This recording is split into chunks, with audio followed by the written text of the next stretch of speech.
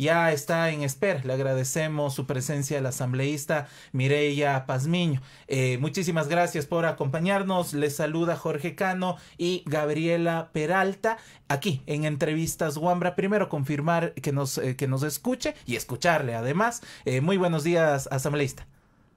Buenos días, Gabriela. Buenos, días, Jorge. Muchas gracias por la invitación. ¿Sí me escuchan? Muy bien, muy bien. Sí, le escuchamos perfectamente. A ver, eh, quisiéramos justo eh, dividir Y, anticipo quizá para, para desarrollar de, de buena manera Este, este espacio que tenemos con usted. Queremos hablar de dos temas. El primero en un gran bloque justo sobre la resolución en la Asamblea Nacional, esta observación y el trabajo que realizó su comisión eh, de la el seguimiento, la revisión, la evaluación sobre este documento de las actividades frente al plan eh, el, plan nacional eh, de por parte del presidente Guillermo Lazo fue aprobado en el pleno de la Asamblea. Eso en primera instancia. Y luego hablaremos en un segundo gran bloque sobre las actividades de esta comisión multipartidista que está dando seguimiento a lo sucedido con el femicidio de María Belén Bernal. Sabemos que usted ah, participa en esos espacios. Entonces, comencemos justamente hace unos días en el Pleno de la Asamblea fue aprobado esta eh, resolución, un llamado de atención mm, de carácter político al eh, primer mandatario, pero que también genera un precedente ante el cumplimiento de eh, su plan de gobierno. ¿Qué observaciones ustedes dieron desde la comisión al entregar este informe al Pleno? Bueno, realmente habían algunas recomendaciones, algunas conclusiones también al evidenciar el incumplimiento, el claro incumplimiento del presidente en el Plan Nacional de Desarrollo. Primero, que se presentó a destiempo a la Asamblea Nacional, luego que justamente en las metas que él eh, se impone o las metas que, que, él las fija para poder cumplir, eh, realmente no evidencia eh, que se haya cumplido dentro de, de, este año de gobierno. Lo único que evidencia es que la falta de, de agenda, la falta de políticas públicas para cumplir con todas estas metas. En especial la meta de seguridad, la meta de educación, la meta de salud. Además que al presentar el informe a la Asamblea Nacional no presenta con ningún documento de respaldo, no presenta con ninguna cifra que pueda evidenciar si se está cumpliendo o no. Tocó a la Asamblea Nacional pedir a los colaboradores de las diferentes carteras de Estado que nos envíen información para poder eh, sacar las conclusiones de cuáles fueron las metas cumplidas o no cumplidas de parte del presidente. Esta, este informe también quería recordarles que la Asamblea Nacional de junio. Tenemos por ahí un inconveniente con la red. Sí, sí, se corta, eh, se, ha cortado en unos, en unos, segundos. pero ahí estamos, Mirella. Sí. Sí, eh, bueno, eso nada más que no hemos tenido ningún documento de respaldo de parte del presidente al entregar este informe. Eh, no había ninguna estadísticas, no teníamos ningunos números de se cumple o no se cumple. Eh, por eso hemos pedido a las diferentes carteras de Estado que nos envíen información. Algunas la enviaron, otras no nos enviaron, otras fueron entregadas incompletas y en ese sentido desarrollamos el informe durante los 30 días que tuvimos eh, el tiempo plazo dentro de la Comisión de Régimen Económico. Esos 30 días pasaron y eh, ya estamos al mes de octubre. ¿Qué sucedió en ese tiempo, varios meses, en que no se trató en el Pleno de la Asamblea Nacional este tema? Porque tiene pertinencia eh, unas semanas después, quizá justo 30 días después de presentado el informe a la nación por parte del presidente de la República, ahora tiene un nuevo contexto en el que se desarrolla justamente esta resolución. ¿Qué pasó? Bueno, realmente habrá que ver que, cuáles son los, las agendas que se ha puesto el presidente de la Asamblea Nacional cuáles son los, los informes a tratar, los proyectos de ley, de igual manera los procesos políticos. Él ya es el quien dispone de eso, ¿no? De que sea qué, qué proyecto, qué informe sea debatido en el Pleno de la Asamblea Nacional. Ya no me corresponde a mí como presidenta porque yo ya entregué a tiempo este informe. Ok, mire, ya sabemos eh, como tal que ya, ya han tenido también por parte del Ministerio de Gobierno una respuesta, ¿no? Sabemos que emitieron un comunicado el 4 de octubre. No sé si me ayudan desde cabina colocando el comunicado. Mientras tanto, lo voy a leer textualmente para que no se descontextualice. Y dice, em, bueno, no lo voy a leer completo, más bien las partes que son importantes, ¿no? Eh, justamente, Le recordamos a las señoras y señores asambleístas que es absurdo que se, se, pretenda determinar dentro del primer año de gestión el incumplimiento de un plan que está previsto a ejecutarse en cuatro años. Adicionalmente, es imposible que el presidente o su delegado mencione en el pleno de la Asamblea las 106 metas que contiene el plan, pero eso no significa que por ello se configure un incumplimiento de funciones. Igualmente, hacemos notar a las y los asambleístas que así como el artículo 130 de la Constitución de la República establece que el supuesto incumplimiento del Plan Nacional de Desarrollo no es causal de destitución, la obstrucción sistemática de dicho plan sí podría justificar la disolución de la Asamblea Nacional. Esto de acuerdo al artículo 148 nos dicen por acá.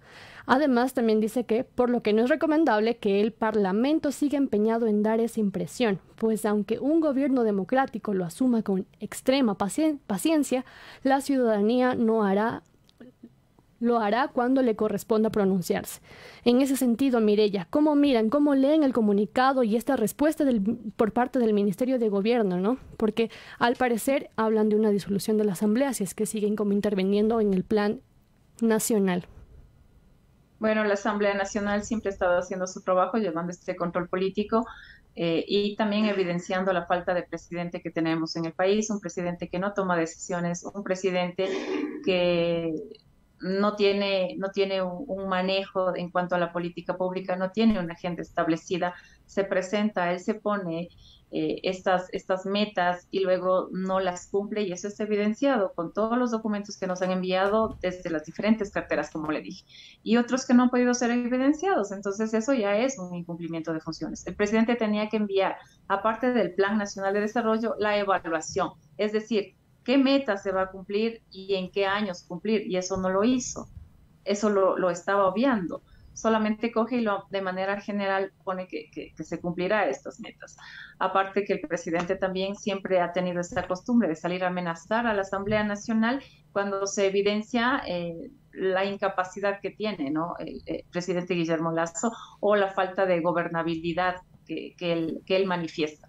Eh, recuerde también que aparte de sacar estos comunicados amenazantes a la Asamblea, eh, también eh, amenaza cuando se quiere seguir un control político y es así que salió a amenazar a la Asamblea cuando ya se aprobó el juicio político para Patricio Carrillo. ¿Y qué es lo que pasó en, en, el caso de María Belén Bernal? Este señor no hizo absolutamente nada. Así que fue luego con la presión del país, con la presión de todas las mujeres, de todos los ecuatorianos, que luego él decidió separar a este señor, pero previo a eso, cuando fue calificado el juicio político, amenazó de igual manera a la Asamblea Nacional. No se ha aprobado alguna ley nefasta que él ha presentado amenazado a la Asamblea Nacional. Él siempre ha querido tener el control sobre la Asamblea, pero hay una fuerza política, hay una mayoría en la Asamblea y, esto seguirá siendo su trabajo, ¿no? Y si eso para el señor presidente le impide supuestamente la gobernabilidad, está en todo su derecho de, presentar sus, eh, la muerte cruzada y creo que sería, sería bueno que lo haga lo antes posible. Tendremos un presidente por seis meses nada más y ya no tendremos un presidente por el resto de los tres años, mientras sigue eh, desgastando al Estado, sigue minimizando al Estado, sigue empobreciendo a los ecuatorianos y seguimos también con este miedo con, esta inseguridad que estamos pasando, con estos actos de violencia que estamos viviendo los ecuatorianos. Sería bueno que, lo piense y lo, ponga ya de inmediato esa muerte cruzada. 8 y 19 de la mañana estamos conversando con la asambleísta Mireia Pazmiño justamente sobre esta resolución de la Asamblea Nacional eh, en un gesto político, porque digo, la aprobación con el número de votos que se da en el Pleno de la Asamblea Nacional ratifica una observación crítica hacia la gestión del presidente de la República. Y, en este gesto político al interior de la Asamblea Nacional eh, han conversado entre los diferentes bloques, los movimientos y partidos políticos eh, de cuál será justamente el rumbo de la Asamblea Nacional en este rol fiscalizador eh, ante las acciones del gobierno del señor Lazo. Bueno, eh, la Asamblea seguirá haciendo este control político, no solamente con el señor Guillermo Lazo, sino también con el resto de sus colaboradores, si están cumpliendo o no están cumpliendo con sus funciones. Un ministerio que esté cumpliendo bien sus funciones, que esté ejecutando bien su presupuesto, que esté emitiendo las políticas públicas, pues eh, habrá que habrá que, felicitarlo. Pero unos ministerios que no, no piden ni incluso presupuesto, que no ejecutan el presupuesto, que no hay políticas públicas y un gobierno también que no, esté, no tenga establecido bien su plan de gobierno, un gobierno que viola prácticamente todos nuestros derechos de acuerdo a la Constitución, eh, habrá, habrá que seguir conversando, seguir dialogando cómo nosotros podemos eh, resolver, porque desde la Asamblea Nacional también hemos estado haciendo prácticamente casi el trabajo del presidente. En cuanto a seguridad, hemos sacado unas resoluciones desde la Asamblea Nacional, pero él ha hecho caso omiso. Pero sí, los diálogos seguirán, eh, el control político de igual manera continuará, eh, debatir proyectos de ley igual, hemos aprobado algunos y el presidente casi la mayoría los ha vetado. Tenemos ahora un proyecto de ley que es bastante bueno, que ayuda a que no se coja el presupuesto de las universidades, que se respete el presupuesto para lo que es salud, para lo que es educación. Eh, esperemos que el presidente nuevamente no vete como él está acostumbrado. Pero por eso no estamos diciendo que, que mandar una muerte cruzada desde la Asamblea Nacional, como el presidente sí lo, lo, ha planteado, y no solamente esta vez, sino ya lo ha planteado, varias de las veces. El, el amenaza pero su palabra no tiene ya ningún valor, creo, en estos momentos para nosotros. Ok, vamos cambiando también un poquito y hablando también de algo que es reoportuno. El día de ayer a mediodía se instaló como tal la sesión de la Comisión Especializada Ocasional por la Verdad, Justicia y Reparación eh, en el femicidio de María Belén Bernal, ¿no? Y como tal sabemos que usted pidió llamar a comparecer a los generales Giovanni Ponce y Freddy Goyes. Cuéntenos un poquito sobre eso, Mireya. Bueno, eh, son los generales que estuvieron al servicio en esa noche que suscitó este femicidio dentro de las instalaciones. Además, recuerde que el presidente apenas aterrizó acá al país, pidió también la desvinculación inmediata de estos dos eh, generales. ¿Qué pasa? ¿Qué hay detrás? ¿Por qué ah, el, presidente se retrae de lo que ha pedido y ahora le da todo el respaldo a los, a los dos generales? Queremos escuchar cuáles son las versiones, cuáles son las acciones que han tomado respecto primero a la desaparición y luego a este femicidio dentro de estas instalaciones. Por eso yo pedí, también he pedido la comparecencia del presidente de la República. Está convocado ya para el día de mañana a las 10 de la mañana, después de, de la comparecencia de la madre de María Belén Bernal. De acuerdo, justamente hay una agenda de comparecencias en la comisión por el femicidio de María Belén Bernal. Eh, ¿Han tenido respuesta del presidente de la República y qué harán si, eh, como en otras ocasiones, no comparece a la Asamblea Nacional? Bueno, eh, vamos a, veamos el día de mañana. No hemos tenido hasta ahora ninguna ningún comunicado si asistirá o no asistirá. De igual manera, si manda algún delegado, yo pediré que sea recibido al presidente, no a ningún delegado, y se le notifique para un nuevo día y una nueva hora. Yo creo que él es el responsable, es el responsable de toda la seguridad de los ciudadanos, es el responsable de que se apliquen los derechos humanos, es el responsable de, tener como, como una de las garantías un Estado seguro, de garantizar eso para los, para los ecuatorianas y las ecuatorianas. Entonces, estaré insistiendo que sea él quien comparezca en el Pleno de la Asamblea Nacional. Caso contrario, habrá que evidenciar, ¿no? que no tenemos presidente o que tenemos un presidente simbólico y que no, no está al tanto de, las responsabilidades que debería tener como primer mandatario. Además que sería una acción pertinente luego de los discursos que ha dado de eh, dar apertura justamente hacia eh, generar acciones para la prevención y la erradicación de la violencia de género. Justamente la presidencia de la República ha abierto una mesa de diálogo, entre las mesas de diálogo que eh, nos, nos tiene al pendiente de saber cuáles son los resultados en el país. Ustedes, para este tema, justamente para prevenir y erradicar la violencia de eh, género, eh, ustedes como Asamblea Nacional han sido invitados, invitadas a estas conversaciones para ver eh, qué política pública, cómo, cómo se efectiviza incluso la ley que en la Asamblea mismo se aprobó cómo, cómo se designa presupuesto. ¿Han sido invitados, han tenido estas conversaciones con, con la presidencia? Bueno, yo desconozco, hasta el momento no hemos sido convocadas ni invitados a ningún diálogo respecto para establecer políticas de igualdad de género. Y bueno, creo que el presidente está acostumbrado a solo diálogos, diálogos, diálogos, pero no saca ningunos resultados de esos diálogos. Tampoco ha generado ninguna política para, para mitigar toda esta violencia que las cifras siguen subiendo, ¿no? Eh, hemos hecho un control en cuanto a la ejecución presupuestaria justamente para estos sectores, juntamente con UNICEF, y eh, se evidencia la, falta de gestión del gobierno, se evidencia la falta de presupuesto para cualquier eh, política que usted la tome o cualquier decisión que tome para que de a poco se vaya mitigando esta violencia de género, se separe inmediatamente, no hay un presupuesto y no hay ningún plan del gobierno.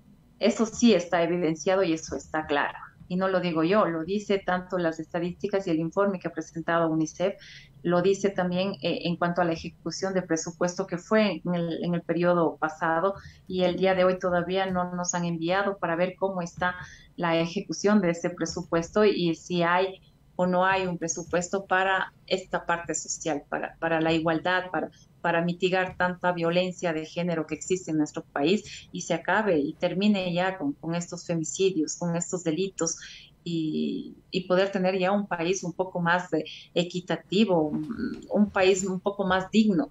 Estamos buscando desesperados, pidiéndole al señor presidente, denos dignidad.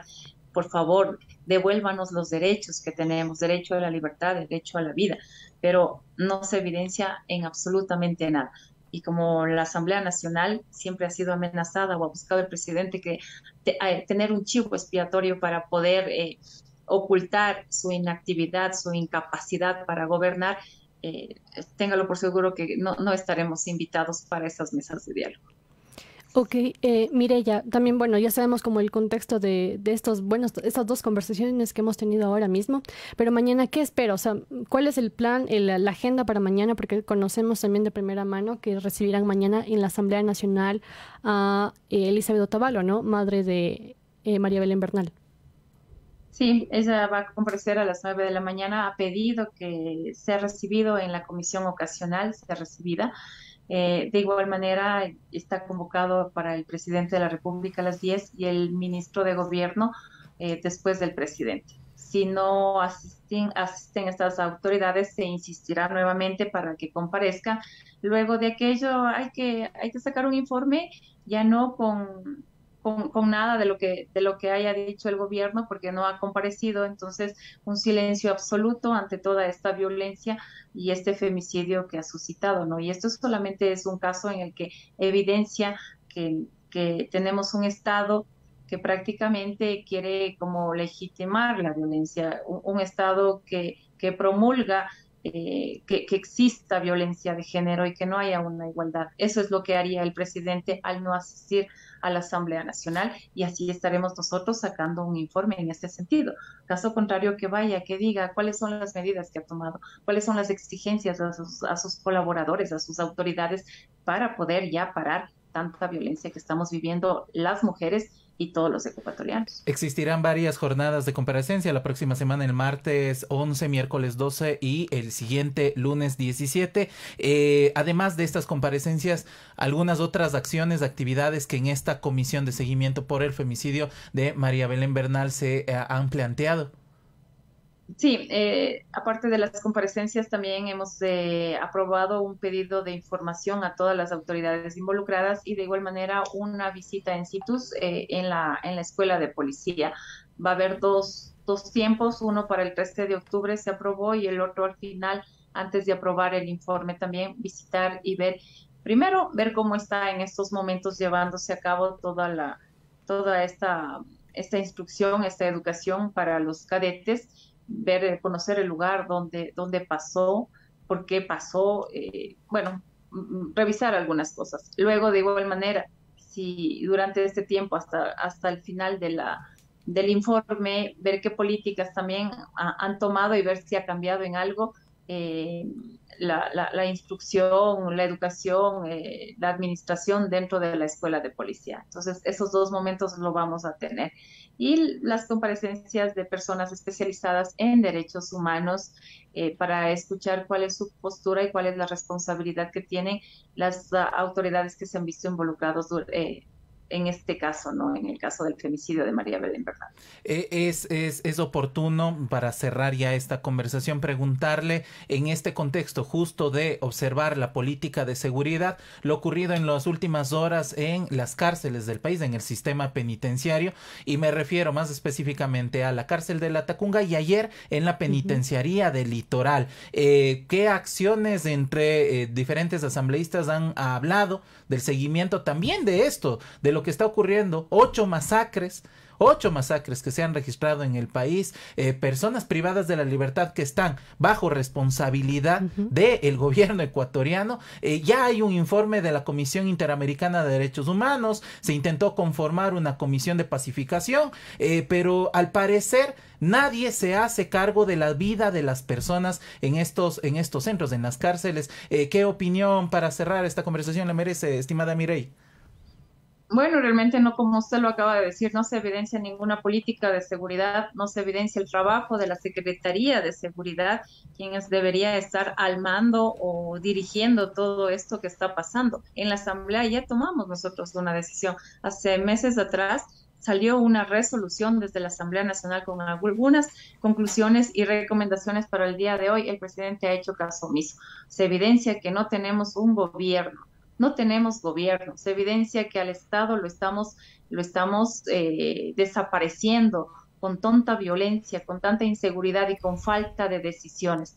Queremos un presidente que realmente se siente y tome decisiones de todo lo que estamos enfrentando, que todo lo que están enfrentando los, los, eh, los privados de la libertad, o sea, son personas, son seres humanos. No hay, no hay derechos humanos en el Ecuador y eso está reflejado en, todo lo que está pasando, en toda esta crisis carcelaria que estamos viviendo. Y desde la Asamblea Nacional tendremos que nuevamente tomar otra postura o una nueva postura que para que en algo dar respuestas a, los ecuatorianos, ya que no tenemos gobierno. Eso refleja. No hay gobierno, no hay un presidente, no hay autoridades que se hagan cargo y responsables de toda esta violencia a los derechos humanos acá en el Ecuador.